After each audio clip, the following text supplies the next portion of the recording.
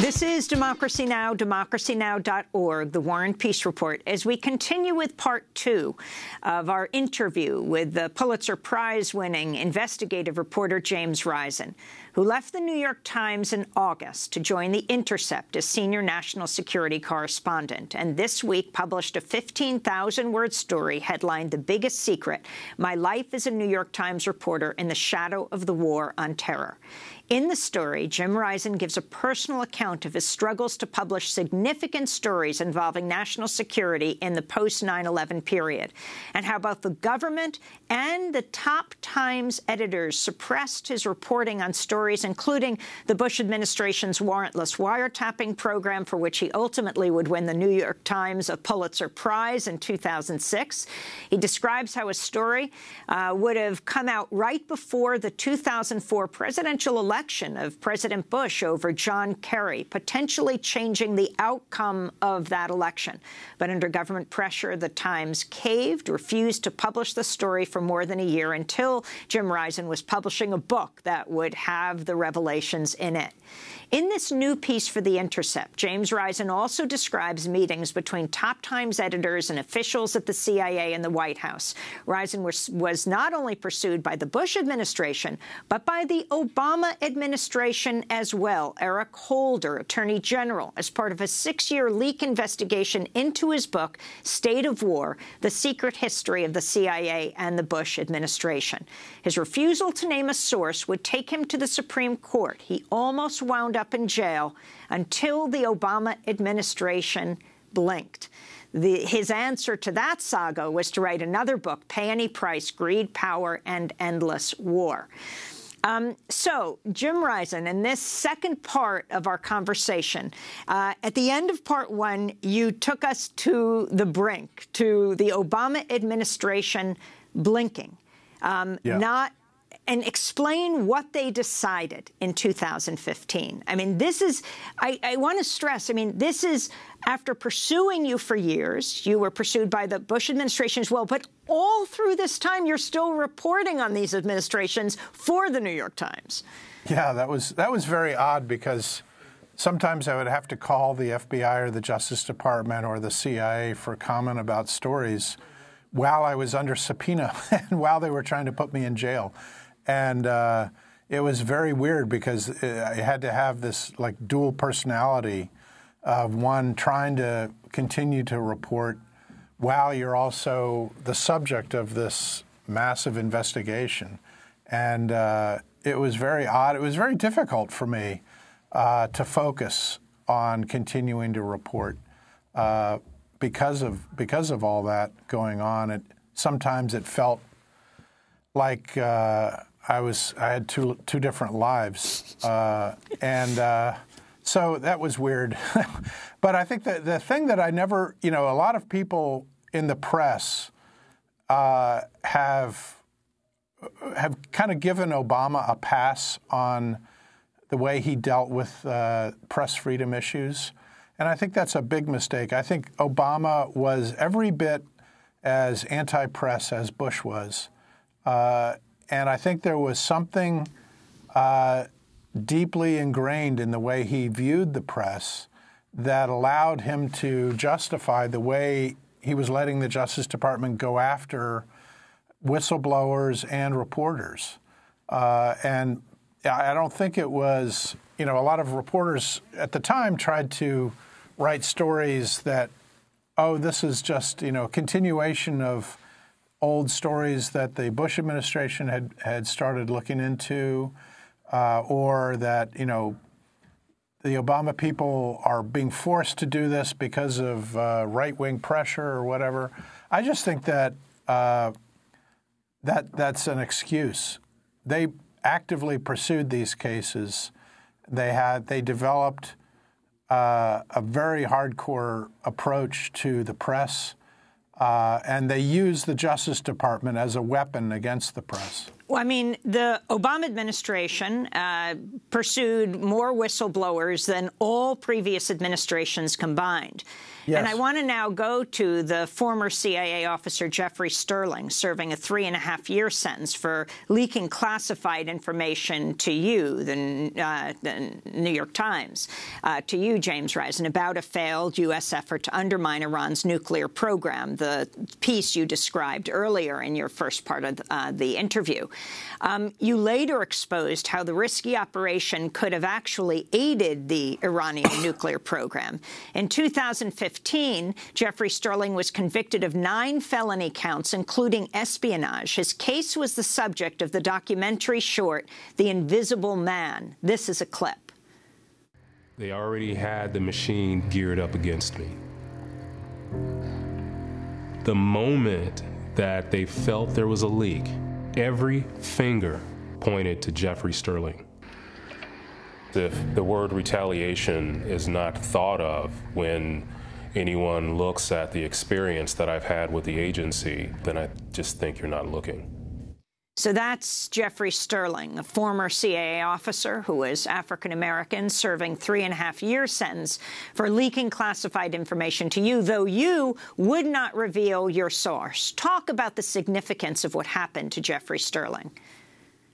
Well, I can't discuss uh, who, uh, you know, anything about who might might have been my source or not. I can't discuss my sources uh, or anything about that uh, matter uh, because it's uh, still something that I just refuse to discuss anything about anyone who might or might not have ever been a source of mine in this case. But in the in this case of just the way you have covered whistleblowers and what happened to uh, Jeffrey Sterling as part of the Obama administration's pursuit of whistleblowers, can you comment? Yeah, I think I think uh, as I said in the in my piece, I think it was very shameful what's happened uh, in this case and all the other uh, cases where they've turned uh, leak investigations into massive witch hunts. Uh, and I, I, describe in the story uh, how the, you know before the Valerie Plame case, there really was no you know the government didn't do this kind of aggressive pursuit of leaks that they allowed leaks to uh, leak you know leak investigations basically didn't go anywhere before the Plame case uh, in 2004 and that it really was uh, Patrick Fitzgerald and his hard-headed approach to the subpoenaing reporters in the Valerie Plame case that I think had the unintended consequence of leading to many more leak investigations and to the subpoenaing of reporters and to the targeting of, uh, of people throughout the government. So I think that had a, a and then after uh, the Plame case, the Obama administration came in and took a zero tolerance approach to all leaks and made it uh, instead of something that was a, uh, a backwater uh, a thing, something put on the back burner of the Justice Department, as it had been for years, suddenly they made, made leak prosecutions and leak investigations a top priority. Jim Risen, the issue of who gets prosecuted, who gets jailed, and who ultimately gets celebrated and gets off the hook. Uh, you write about this in your piece for The Intercept, The Biggest Secret, and you talk about a story that really shaped your reporting. This is before the September 11, 2001 attacks. You write, one incident left me questioning whether I should continue as a national security reporter. In 2000, John Millis, a former CIA officer who had become staff director of the House Intelligence Committee, summoned me to his small office on Capitol Hill. Talk about, uh, take it from there. Take it from after he closed the door. Sure. Uh, John Millis uh, opened, he took out a classified document, which was a, an inspector general's report from the CIA on how uh, John Deutch, who had been the CIA director, had mishandled uh, classified information on his computer and how the investigation into that had been mishandled by top senior uh, CIA officials, and that nothing had been done basically uh, about Deutch. And it was a very devastating IG report, which had been never been made public before. And uh, Millis read me the whole story, the whole uh, uh, report, and went back over it uh, whenever I needed to, so I could write it uh, verbatim, write it down exactly uh, what was in the report. And I wrote a story about that report, uh, which was very explosive at the time because it raised questions about uh, the way that this investigation had been handled inside the CIA and how basically nothing had been done to Deutch, and how George Tenet and other people at the CIA had kind of, uh, you know, put you know put this whole thing on the back burner. And um, Millis, a few months later, committed suicide. And I was I went to his funeral, which was attended uh, by hundreds of CIA people, and I felt I wasn't sure whether my you know the story I had done and the leak from him had anything to do with his uh, committing suicide, but I felt like I was in a very weird, dangerous world that I didn't quite understand. And he, I, for this piece that I just wrote, I talked to his widow, and she agreed that it was okay to say finally that tell this story about him, and also that she said that she doesn't believe his suicide had had anything to do with uh, that leak or that story. But it was a, it was a real strange strange interlude in my career. You know, as you may remember, after that, Deutch, you know, I think the investigation after that uh, into Deutch's uh, handling of classified information suddenly uh, got re, you know, reignited after my story. And uh, finally, I think, uh, as I recall, President Clinton gave him a pardon on the way out mm. of office. So you have um, both John Deutch and you have David Petraeus. Yeah. Yeah, Petraeus was, uh, as you remember, remember, he was uh, CIA director under for Obama, and was uh, became, came under investigation for, uh, you know, his mishandling of classified information in a very convoluted story. And he just got a slap on the wrist in the end. Uh, didn't go, didn't have to go to jail, uh, and it's become clear that top officials, uh, if you're powerful enough and wealthy enough, and if you're in a well enough connected, you know, leak investigations will not ruin your career, your life, uh, and you won't face jail time. But if you're lower level uh, officials, uh, throughout the government, you know, they can they'll go after low level people who are not uh, powerful. So, Jim, you have the whistleblowers and you have the reporters. And I wanted to go back to your story about Michael Hayden trying to suppress the story, the former head of the CIA. Before that, he led the NSA, the National Security Agency. He was speaking in 2014 to 60 Minutes' Lesley Stahl um, and said that he didn't think that you, James Risen, should be forced to divulge your source. I'm conflicted. I know the damage that is done and I do. But I also know the free press necessity in a free society. And it, it, actually might be that I think, no, he's wrong. That was a mistake. That's a, that was a terrible thing to do. America will suffer because of that story.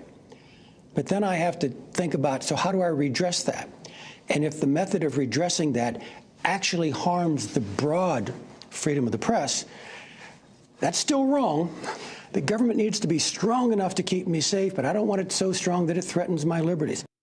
So that's Michael Hayden. Your thoughts, Jim, as uh, he was the one who brought down the hammer on your story, and now he's saying you shouldn't have to reveal your source.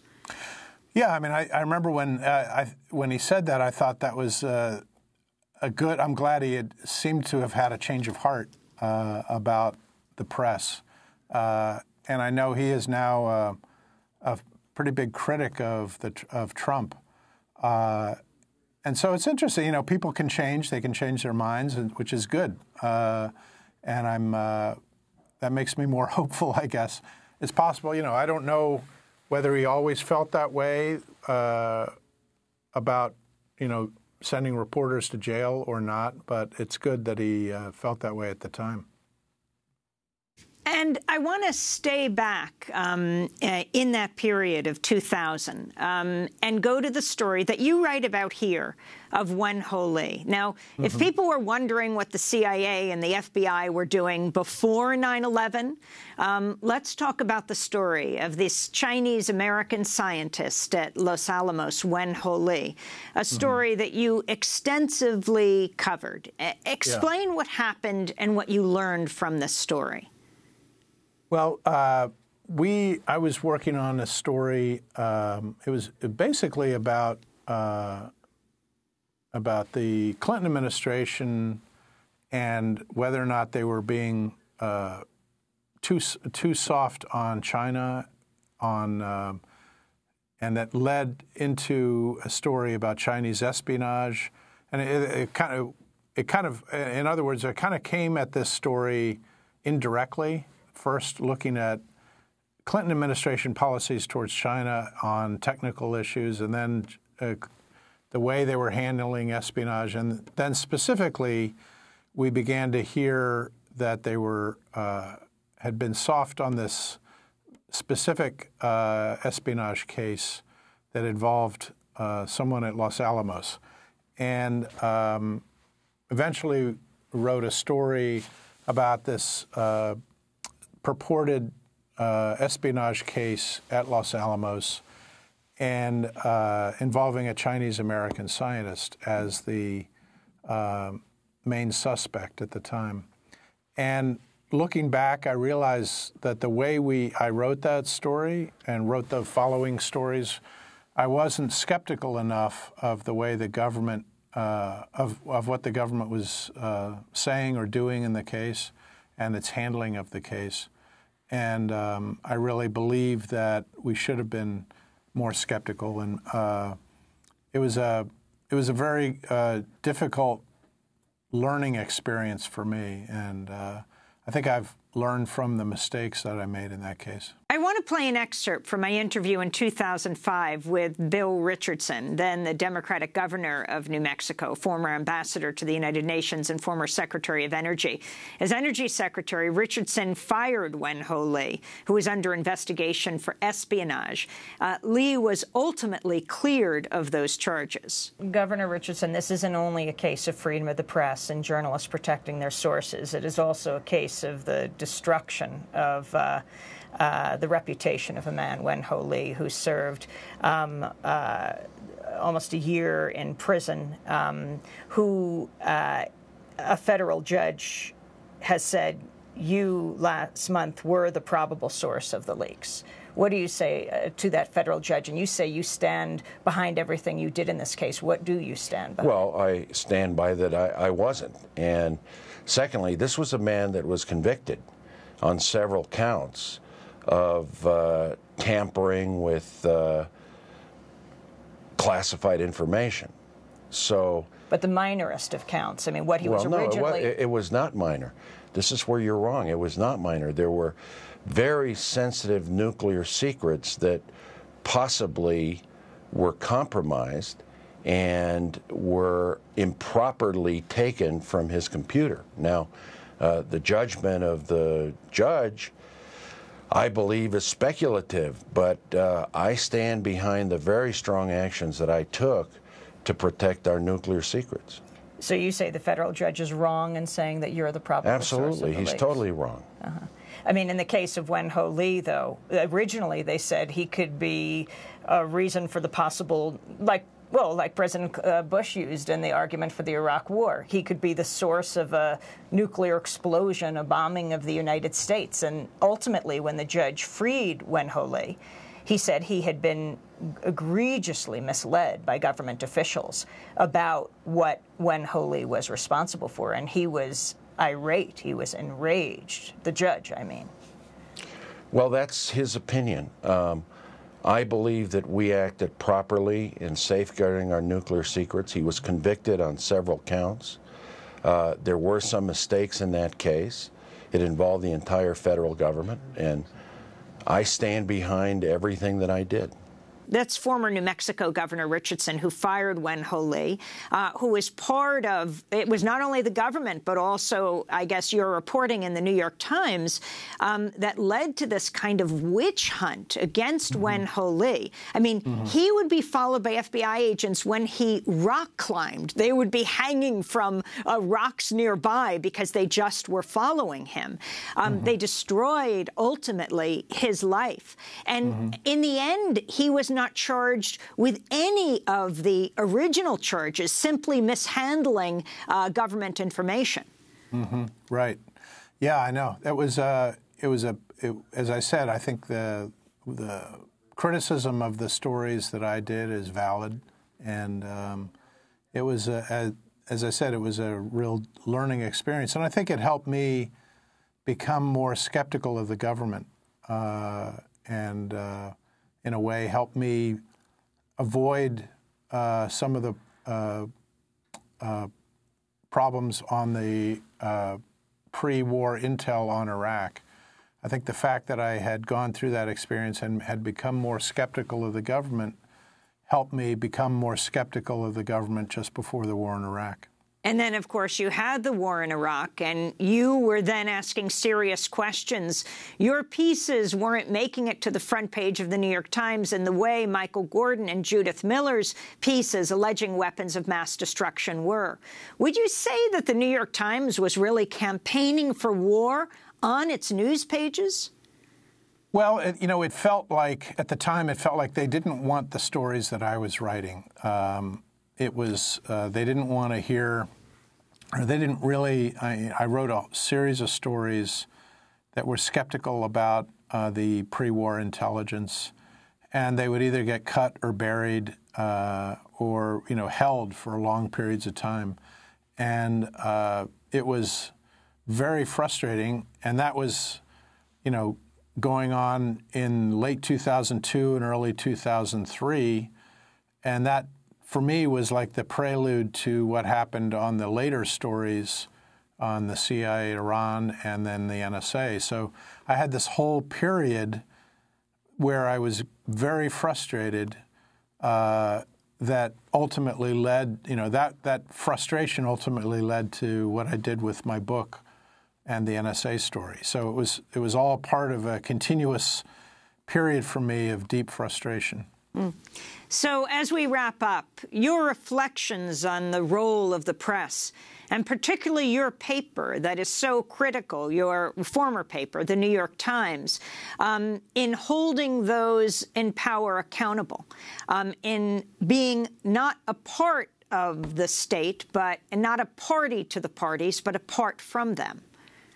Yeah, I think I, as I said in my piece, I think there's some mixed results from the, all these battles uh, in the post 9/11 age. I think, I think the press in general, including the New York Times and the Washington Post and a lot of other major news organizations, hasn't really learned the lessons of the uh, pre-war uh, WMD uh, debacle in the press. I think we are still hyping terrorist threats and hyping WMD threats in some cases. And I think that leads, that has a major political impact. And it makes it very difficult for anyone in Congress or the White House or any, any political leader to roll back some of the uh, most draconian uh, laws and policies that have been put in place uh, since 9 11, uh, including the domestic spying programs. Uh, on the other hand, at the New York Times, I think the fight over the NSA story really helped usher in a change in the way that they deal with the government. Uh, the paper is now much more aggressive on national security reporting and, and much less willing than uh, ever than it was before the NSA story to agree to hold or kill stories uh, at the government's request. Uh, it's, uh, you know, they, they require a much higher bar uh, you know, they still negotiate on stories when when the government wants to negotiate, but I think they're much more willing to say no to the government today. And I think uh, you know the experience on the NSA story had was a big factor in changing that uh, the way they think about that. And Jim, one of the things you write about is the fact that you found out through the case against you, through discovery, that there was, to say the least, a, a major FBI file on you. Can you talk about what you learned? Yeah, I found uh, my lawyers uh, filed FOIA, you know, Freedom of Information Act requests with several agencies, and uh, they wouldn't give me any information about uh, the current case, but they were they, to my great surprise, they we started getting these old files on old uh, leak investigations that they had done of my stories, uh, earlier stories, and I was uh, it was amazing to see all these old leak investigations that I never knew had taken place. And the reason I never knew about them is because they dropped them and they never pursued them. And uh, one of the one of the documents showed, you know, had had the uh, said it was the FBI was recommending that it be closed and shut down uh, because they hadn't, you know, really found anything. And I think there was a, as I said before, this earlier period where no one really wanted to go to the mat, uh, go to the mat on uh, leak investigations. They just uh, everyone knew that there was this informal understanding between the press and the government, and they just uh, would would uh, go through the motions of leak investigations. And it's only been in the last few years where that's changed, and that's it's made Washington a much more uh, difficult place to do uh, aggressive reporting. Were they surveilling you? Were they following you, Jim Risen? Uh, not as far as I know. Not not uh, physical surveillance all the time, as far as I know. But I do. There was. I describe a, a very strange uh, incident that's happened recently, actually, in the last couple of years, where I was. Uh, the FBI set up what I've been what's been described to me as an ambush of uh, what they thought was going to be a meeting between me and a source, and uh, that meeting didn't happen, so the ambush didn't take place but I had uh, been given evidence that they were thinking about uh, pursuing that uh, in a way to try to uh, find out, uh, find a source of mine. And uh, so I, that's that was very disconcerting to to find out that. Hmm. and finally, the FISA Reauthorization Act that they have punted to January 19th, the significance of this? Well, you know, the the uh, after our NSA story uh, in 2000, late 2005, Congress began to finally uh, grapple with how to deal with uh, the NSA domestic spying program. And in 2008, they passed uh, what they called the FISA Reauthorization Act, or FISA Amendments Act. I mean, and that basically gave Bush unfortunately, uh, most of what it made legal most of what he had been doing under the domestic spying program. And uh, that FISA Amendments Act uh, then was still in place, uh, has, has been reauthorized, I think, a couple times, and has uh, then, when Edward Snowden came out with uh, his documents, there were some tweaks to that, limiting certain things. But it's basically still the FISA Amendments Act of 2008 is still uh, generally the the uh, law, and they so I think they're just reauthorizing that. The for a while there were some Republicans over the last few years who were libertarian who were opposed to uh, uh domestic spying, but there's been very little constituency, unfortunately, in the United States for civil liberties. And uh, it's very easy politically to demagogue on uh, terrorist threats, and it makes it very difficult for uh, politicians to fight back and actually reduce the, the power of the government. Hmm. Well, James Risen, I want to thank you so much for spending this time with us. James Risen, the Intercept's senior national security correspondent, best-selling author, former New York Times reporter. His new piece for The Intercept is titled The Biggest Secret, My Life as a New York Times Reporter in the Shadow of the War on Terror. We'll link to it at democracynow.org, as well as part one of our hour conversation with the Pulitzer Prize-winning journalists. James Risen. This is Democracy Now! I'm Amy Goodman. Thanks for joining us.